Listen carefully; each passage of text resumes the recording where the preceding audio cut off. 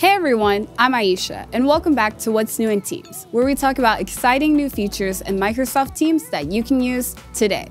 Presenting in Teams has become even easier with PowerPoint Live, and now it's even better with ways to literally stand out in a meeting with your content. Let's try it out. Once you've shared your PowerPoint presentation, look up at the U-bar where you see Presenter Mode, and then select the person with the icon. Your silhouette will appear in front of your presentation, allowing your audience to see your gestures and facial expressions while you present.